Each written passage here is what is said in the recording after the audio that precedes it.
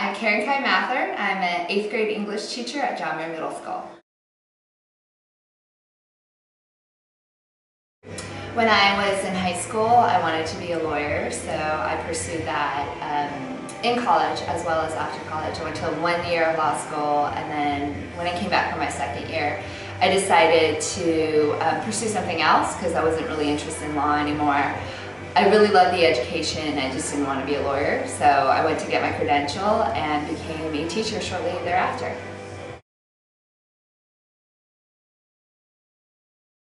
Uh, there were definitely a lot of doubts. Um, I was mainly concerned about my parents, and especially because I had gone to a year of law school, they knew that I could do it, and I knew I could do it as well. So it wasn't really much a question uh, whether or not my effort or my intelligence, but it was really if I really wanted to do it myself. So I went through a hard time with my parents. They didn't speak to me for about three months after I left law school. But um, now we have a great relationship because I think they realize that I'm actually really, really happy in what I'm doing and I want to continue pursuing education um, in leadership roles.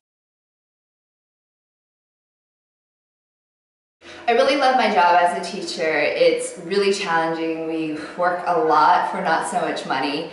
Um, but the rewards I get are the interactions I have with students and families. Um, I want to continue pursuing it and I want to eventually do something with education and curriculum and building curriculum for the state or even the nation.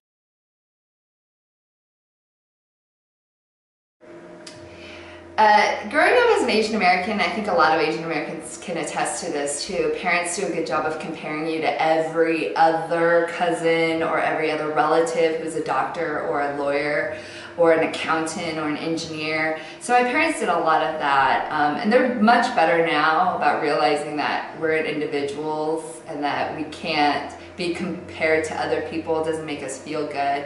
So I think I mean, that's a lesson that um, our generation has kind of learned too through our parents. It's not really good to compare kids to other kids.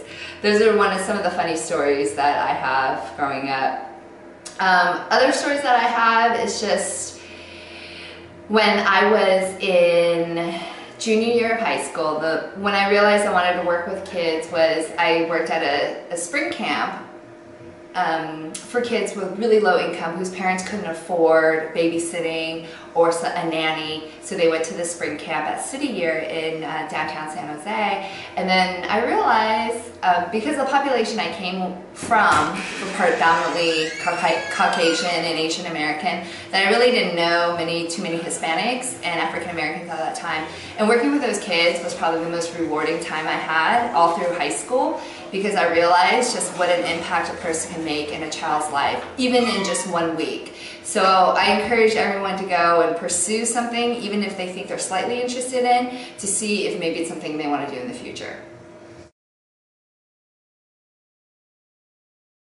I just always knew I wanted to work with kids. So when I was in law school, I actually did family law. And what I realized was people don't go to lawyers for good things. they don't go to lawyers for good news. It's oftentimes they go to them when they're in trouble, or they need to plan their estate, or they need help. So working in family law, it was really awful because I saw a lot of families fighting in divorces, fighting over their kids, and not really seeing the best situation for kids. So when I decided to leave law school, I knew my second career choice would have been something working with kids. So I decided to work at a middle school and after school program and that really kind of just made me interested in working with adolescents around the 13 and 14 year old age.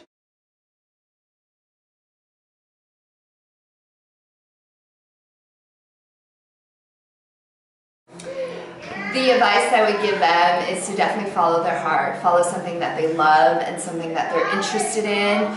Um, and I would also encourage them to try things, and especially if they don't like something, to try something new. I think we learn a lot and learn a lot about ourselves when we are trying a new profession or a new career for the first time.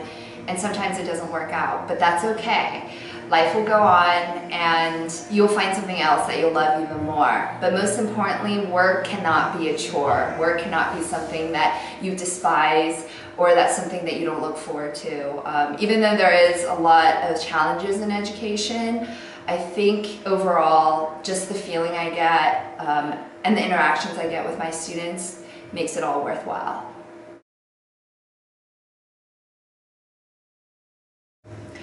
Um, if I got to do it again, I wouldn't choose anything different. I think all the work that I put in, even in law school, in my credential and in my career now, has made me the person that I am. And I wouldn't know what I could do or what my abilities were, abilities are if I didn't go through that path. Um, I wouldn't have met my husband if I didn't. I wouldn't have met the friends that I have now, and I certainly wouldn't be in this path of like health and fitness um, as well. So no, I wouldn't change anything. Um, sometimes hardships really make us who we are.